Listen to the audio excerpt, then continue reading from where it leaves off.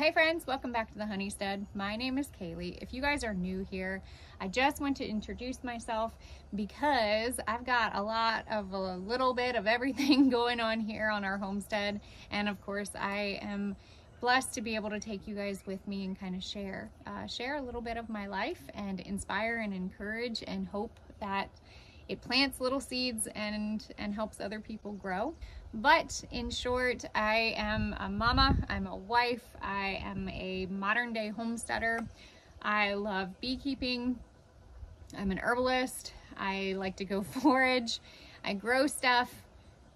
I eat wild stuff. we just do a little bit of everything here on our homestead and I realized that I have not done a garden tour so we're gonna head over to the garden. I had to come up and grab my grab my bee veil because the gnats are already out flying. So let's go let's go check on my garden. The perfectly imperfect weeds and all. But this is my life and I get to share it with you guys.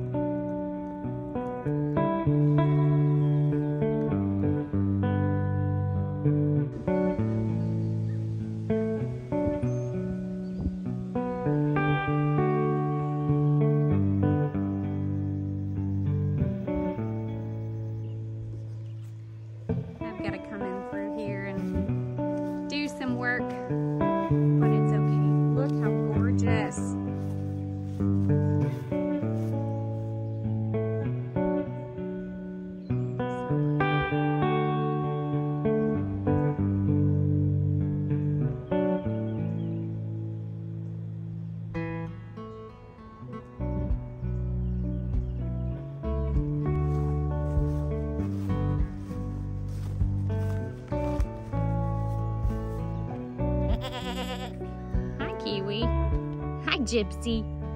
What you guys doing? And of course, my little garden helpers always come for quick little snacks whenever I am coming up here and working. but this, this is my potato patch. So we're doing the Ruth Stout method again. Um, it worked pretty well with us. I've got to add some more straw, um, but all of these potatoes, these are all growing right on straw. And then when we go to do a harvest, we're just gonna pull them straight up. I've got a few different variety that we have growing and I can't exactly remember which ones they are, these little bugs are definitely gonna give me a problem, so what I'm gonna do to help fight them, I'll probably come through here, pick them off, or I'm gonna get my chickens in here, and hopefully they can do some work for me. That is my goal. Um, and if not my chickens, I've got another thing that we're gonna add to our garden area as, as, a, as a trial. This past Mother's Day, my husband and my daughter brought home some baby ducklings that we are, I'm, we're gonna do an experiment. I think it's gonna work out everything that I read. Seems to be pretty promising. Um, but we are gonna be adding our ducks in a coop area around that corner um, so that they can be garden ducks. And my goal is to get them in this garden so that they can help with these bugs because I haven't been able to find many bugs that can help eat these little potato funky beetle things.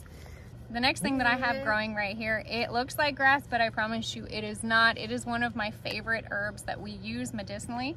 Um, this is Avena sativa, which is oats. So we use the oats uh, as oat straw. So once it starts growing, we can harvest it. We use the straw in our teas. It's very mineralizing for your body. But my favorite thing to do with the oats is to harvest the, the tops when they're beautiful and green and you're gonna harvest it and it's gonna produce this very like milky substance. And so what we will do is we will tincture that and use that medicinally as, um, as a tincture, which is called milky stage oats.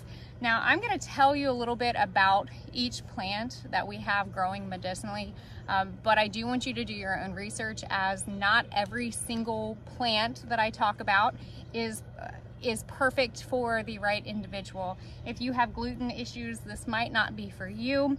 Um, but for me, I absolutely, I absolutely love using, using milky stage oats in a tincture form. So I was a little late to the game for growing it, but I like to not necessarily follow the rules and we're just gonna grow the things and hope that we can get a harvest. I think we will. It's growing very, very fast and it took, um, it took quite quickly. So as soon as this grows up and we have the beautiful tops, we're gonna harvest and then I get to show you what we're doing with it next. Um, but you can also dry them and use them for your oats, like actual oatmeal. That is something that I'd like to learn, but medicinally speaking, this is one of my favorites that I use pretty much all the time. So. I am not just growing herbs and vegetables in our garden this year. We're gonna try our luck with some market flowers. We've got a, a, few different varieties that we are learning how to grow. This is something that is new for me. Um, I've always grown a little bit of flowers, but never in this much of an abundance. Um, so bear with us, I will show you that. We figured it would be good, it'd be beneficial for our pollinators as well as um, just adding something a little bit more beautiful to the garden. So one of the ones that we are growing for our market flowers as well as for our food um, is dill. So I have, I've got a bunch of dill that we're gonna use.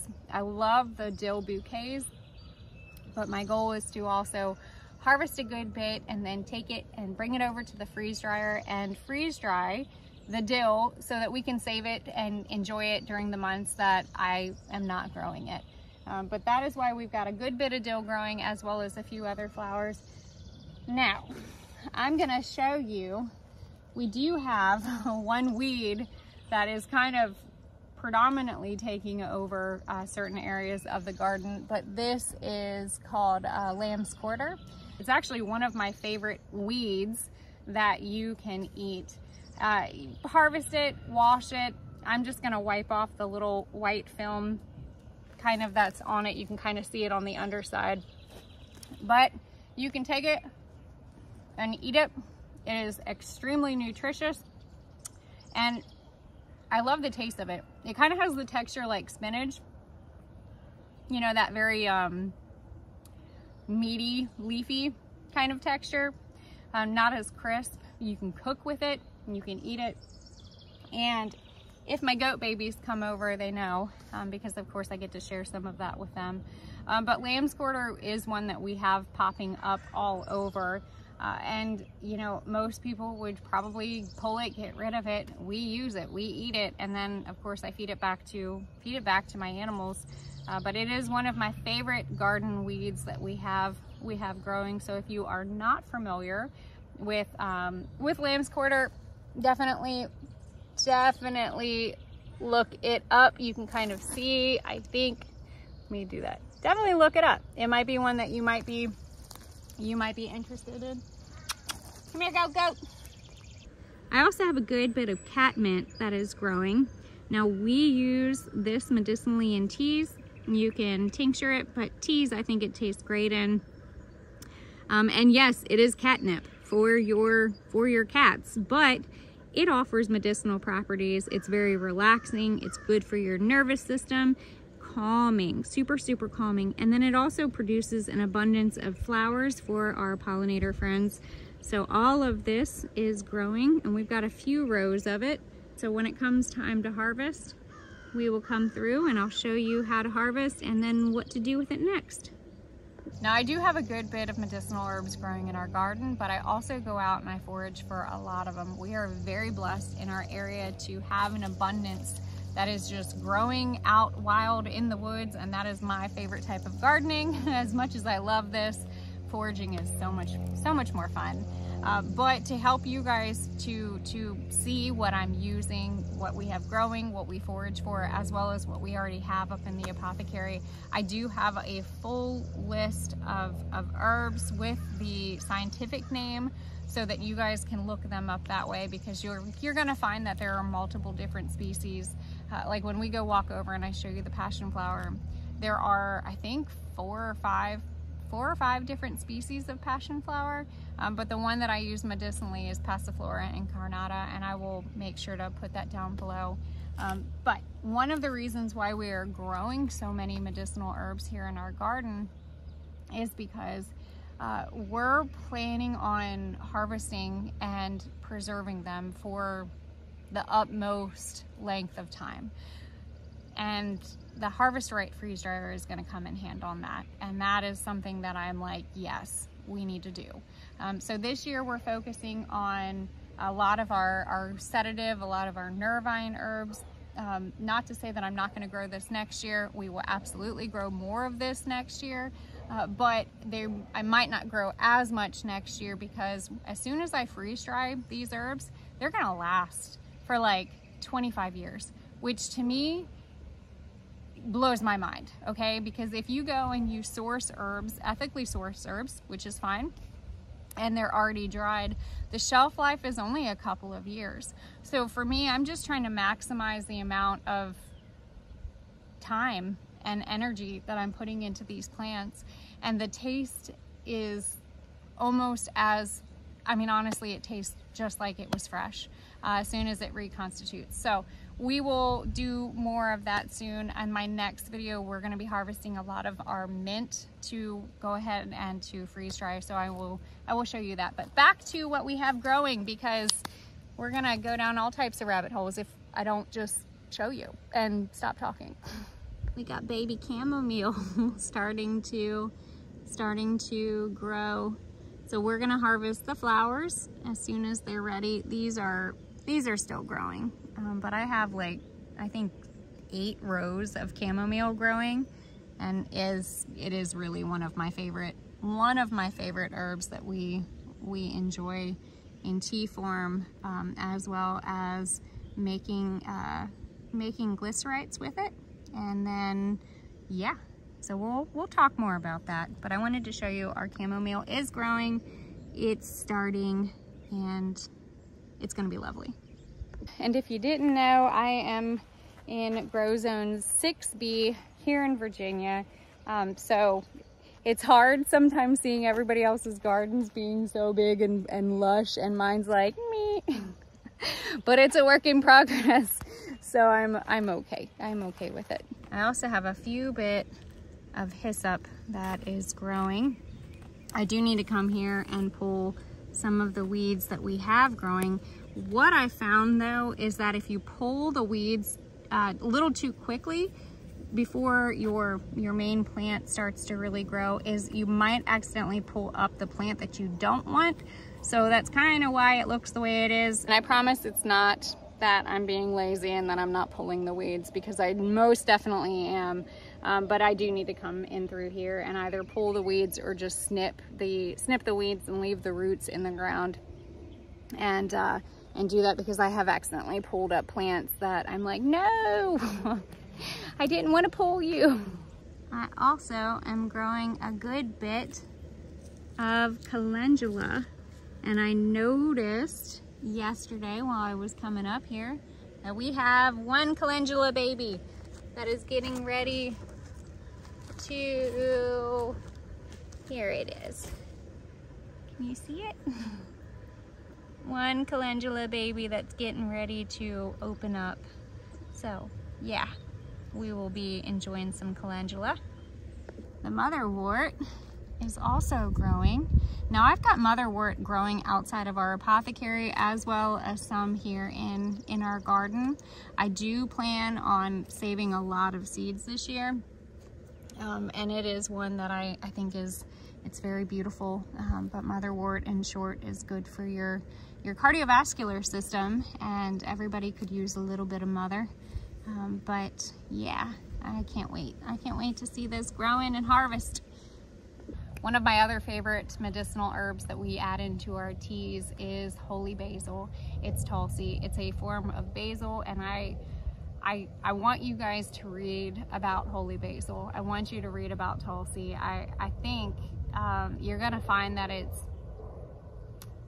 it's an adaptogen herb and it is delicious. It smells good. It produces gorgeous flowers. Our bees absolutely love it. Um, but not only beneficial for your, your pollinators, um, but it is so good for your body. And just keeping your adrenals nourished and and keeping your body at balance. Um, it smells good. Every time I smell it, I'm like, so if I can put holy basil in all of our teas, I will. Um, so I have a good bit growing this year. They're still babies, but they are growing. So soon enough, we will have them grow. And I think I planted like 30. I might have gotten excited. and it's actually very possible that I might have grown more than 30. Um, and some we might just have volunteer for, for next. Now, I was going through my seeds and I was looking at all my baby plants that we have growing and I don't know if I messed up or if I completely forgot. Um, but lemon balm, I gotta double check and see if I even started lemon balm. I think it might be fine. I think I'm just gonna do some seeds, drop them in the ground and see what happens. So I'm not too, too worried um, if I if I forgot. Um, but lemon balm is another really good medicinal plant that I do love. Now, here's something that I'm experimenting with.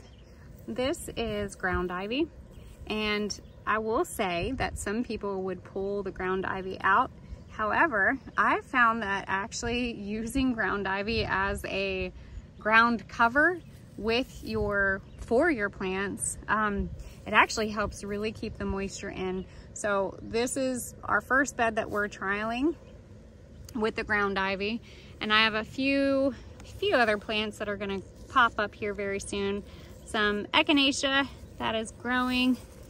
It's in it, it's a mix, but I'm using these plants to help, to really help keep that moisture in because the raised beds, they can get quite dry. Uh, and I think it's beautiful. And ground ivy is actually medicinal as well. And I think I have a video out there, so I'll put that down below.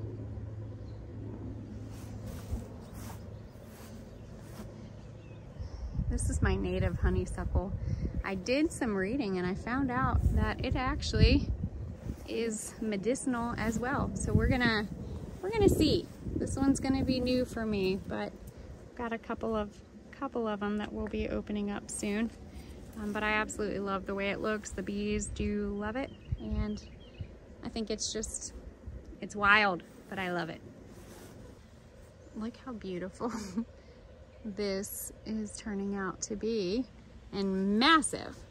This is one of the stinkiest roots that I have in our apothecary. However, the flower is oh my goodness, it has such a beautiful smell. Now, valerian root is one of our favorite knockout roots that you can have. Um, but we recently tinctured it and I will tell you, I really love the taste of valerian um, as a tincture form. There's a lot of good properties in it. I think we need to go over and I need to actually do that because my mom tinctured it and grabbed it for herself, but I think I need to make one for me. Um, but it is very, one of the things that I was reading about valerian root is when you tincture the root, um, it's used for pain management too, um, specifically for back pain. So we're gonna sample it. We're gonna do it ourselves. I love the taste of it, um, but I just think that it's amazing and interesting and yeah. So I'll make sure to take you guys with me when we go to set that tincture up. Um, but love the flower. Love it. It's gorgeous. And then I have a few more valerian babies growing uh, down below. I did not want to harvest the root because I wanted to actually experience the flower because I was reading how stunning the flower actually smells, which is, again, crazy because the root is, whoo, stinky. um, but it's, it's beautiful. Now this lovely little plant that I have growing right here, it's slowly but surely starting to grow up. But this is Schisandra berry, another quite amazing adaptogen herb. So we have two of them. I've got some growing on this side and then I have uh, a few more growing on the other side of the archway. Soon enough, this will pop and be gorgeous. I can't wait. I also still have a few more things that I have to finish planting um, right here in particular. I really need to, I need to get this into the ground. Uh, but this is um, St. John's wort. So we will be, I need to do that probably like yesterday. The feverfew is starting to we're starting to get there. Now, feverfew, I want you, a lot of people are like, oh, it's chamomile. No, it's actually feverfew. The leaves will be able to kind of give you that, uh, give it away. But feverfew is a vasodilator. This is what I use for migraine prevention. Um, if I have a migraine, this won't exactly touch it, but I will take it when I know that I will, um, that we're gonna be experiencing something that could potentially cause a migraine. Barometer dropping for me is kind of what triggers mine. Um, but we have this beautiful plant right here. This is a second year, second year feverfew. And then it also dropped a lot of little babies. So all of these are going to be baby feverfews. So I'm probably gonna pull some, um, gift some, and then also, uh, we're just gonna see. We're gonna give it a shot. Let them, let them grow. And another favorite for your garden is echinacea. Echinacea you can use, it's great for your immune system. It's one of those herbs, two weeks and then call it, hit it hard, hit it fast um, but we have a few that are starting to starting to bloom. Um, but echinacea is one that we'll use medicinally for helping with our immune system. Um, and also not only that, but there's some pretty cool stuff about echinacea. If you accidentally get bit by a snake, you might want to keep echinacea near you um, because you can use it to help put on your snake bite that'll pull out that venom. So another reason why we have it growing in our garden. I also have more weeds growing in the garden. This right here is called wood sorrel. Um, these little pods, if you ever get an opportunity to uh, have them, harvest them, I'm telling you what, they are quite yummy actually. They have this like super sour little kind of taste to them. So, what I like about it though, is it's very cooling. So when I come up here and I'm working in the garden, and if I want something that might cool me down, that sour taste, for some reason, I eat it. It's a little tangy, but, ooh, these gnats are bad. But anyways, definitely one that I like to have in the garden. The other thing that I like about wood sorrel just like the ground ivy that we have growing in our beds, it will blanket your your raised bed area, um, which will help, which will help keep that moisture back in back into your garden. So I'm playing around with two, playing around with the ground ivy. I think it's beautiful, as well as as the wood sorrel. Um, plus, there's food if I'm up here working in the garden soon enough, this raised bed is going to blow up. Um, but this is actually uh, the passion flower that I was talking about, Passiflora incarnata. And look, I have so many little babies that are already starting to pop up.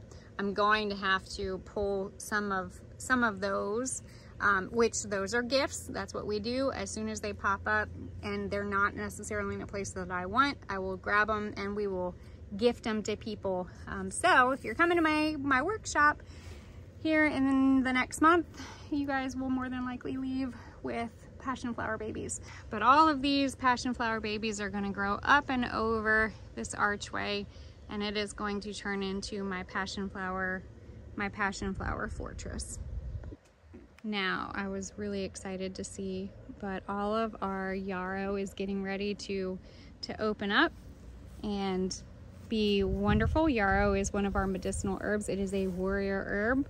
We will use it in teas. We will use it in tinctures. As soon as we get some Queen Anne's lace, I'm gonna make sure that you guys can identify the difference between because a lot of people get Queen Anne's lace mixed up with yarrow, but soon enough, these are all gonna open and be stunning. And then of course we have my roses um, that we have growing. I also have some other stuff right here that most people would be like, why would you let grow in your garden? But this is narrow leaf plantain. And I think it's quite funny because here's how, here's how I think God kind of works sometimes. This plant that I have growing next to my roses is called narrow leaf plantain. And in short, we use it like a band-aid. So whenever I cut myself here in the garden, I will grab it and I will wrap wrap it around my my cut. Typically it's on my hands. And of course it's always when I am near the roses um, because of the little thorns. So I just think that it's not really ironic that I have narrow leaf plantain growing right next to my roses. And so we let it grow and we use it. And that's, that is how we use narrow leaf plantain. When I spoke about adding, having weeds in the garden, having my garden be alive, the other day I came out here and let's see if she's in there. I don't know. She is. Okay, all right. I'm not gonna, I'm not gonna hurt you. My mint that I have growing I was cleaning up a little bit and I noticed something moving and I, I had to stop because look right here. Can you see that? Oh no. Let's see if I can zoom in. You go. Right there. I have a, a little bird that decided to make her nest that little mama decided to make her nest right here in my garden. So we're gonna let her, we're gonna let her be safe and keep her baby safe. But I wanted to come up and peek on my girls. I've got a lot more that I wanna share with you guys um, in this garden, but I wanna share, I wanna share this site with you. We're gonna be doing a nice little honey harvest this year. But all of, all of the girls are flying. And as you can see, we really need to expand our apiary and we've got some ideas and we're gonna take you guys with us when that, when that is time. And yes, I do have mullein that is growing in my garden. I did not plant this wonderful plant here, um, but she wanted to be here, so that is what we're doing. So mullein is a medicinal plant. We use it for our respiratory system. You can use it in tea. You can use it uh, as a tincture. You can smoke mullein, um, but second year it's going to grow big and tall. I'm not necessarily gonna use these leaves. I really only like the first year mullein, which I do have one growing beside it um, that I'll show you. But this is gonna grow a gorgeous stalk with beautiful yellow flowers and we're gonna harvest the flowers and put them in oil and use them for your ear, um, for ear infections. So Right now, it's happy growing alongside my mint that we will be harvesting and freeze drying next. I'm probably going to be doing that later today and you guys might catch that in another video. But this is the first year mullein. I'll show you. Now I did transplant it to see if one, to see if I could do it. And so far, I think it's gonna make it. Um, some of the stuff on the outside, not so much, but right here in the middle, this poor little baby was gonna get run over and I was like, no, save the mullein. Um, so this year I'm gonna let it grow a little bit more and we're gonna harvest the leaves and dry them and then use them. Use them in our teas, use them in all the things. Why not? It's free and it grows, but, but I mainly wanna share with you guys that you can bring the weeds into your garden you can incorporate them into your garden. Not only are they offering uh, ground cover, but they're also offering medicinal properties. They're good for your bees, good for you. And I think we're gonna have to do a second series of this video um, because I have a lot more things growing and I'm probably pretty sure that this video is gonna be quite long. Um, but there's one thing I wanna add kind of similar to that whole plantain, you know, about God's sense of humor and growing something right beside my beautiful rose plants that I'm constantly cutting myself on. Um, one of the other plants that we wanted to bring into our garden that I spoke of last year there was a lot of people that were having a very hard time um, with pain. And one of the one of the wild wild forage plants that you go and you forage for is uh, wild lettuce. Now you can take the wild lettuce, you can tincture it, blend it all up and tincture it, and, and use it medicinally as an analgesic herb. But I planted all of this last year and it is starting to go to seed and that is okay. Um, that's our goal. We're going to harvest the seeds, save them, and of course use them to grow more. But then what happened that I did not plant, again, this is another species of wild lettuce. Um, I did not grow this, okay? I did not plant this here. This volunteered itself and I already harvested a good bit during our one of our last workshops so that people can come and get that hands-on experience and make the tinctures. But here's here's what I think is funny. I spoke about wanting more wild lettuce. I spoke about how a lot of people that I know they they were having a hard time finding it or they needed it. And I'm going to bring God into this one because he must have heard me and he must know that there is a reason why. But out of the many years that we have been growing here in our garden, not necessarily growing this wild lettuce species, um, but this happened. And I just, I'm just gonna show you. I have wild lettuce growing all in our apiary. So when you say, hey, it'd be nice to find more wild lettuce to be able to bless people with. Um, well, God says, okay, here you go. And yeah, that's that is what that is what is happening. Um, now i know that there are going to be other people who have their own forms of belief with that and that is okay. This is something that i i have experienced and witnessed multiple times here on our homestead.